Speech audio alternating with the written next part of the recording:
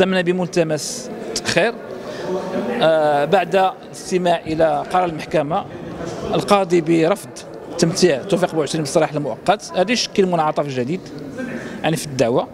ثم عدم جاهزية القرار التمهيدي الذي فيه يعني دفوع اشكاليه وطلبات أولية. يعني التمسنا مهله قصد الاطلاع على هذا على هذا القرار. ومبررات رفض بعض الطلبات. لأنها ستحدد موقفنا ومصير مصير يعني الدعوة. جزء من الطلبات مرتبط بجوهر الدعوة. إذا بغينا نفهموا علاش المحكمة رفضت لا أقل ولا أكثر. آه إذا عللنا ملتمسنا بالتأجيل.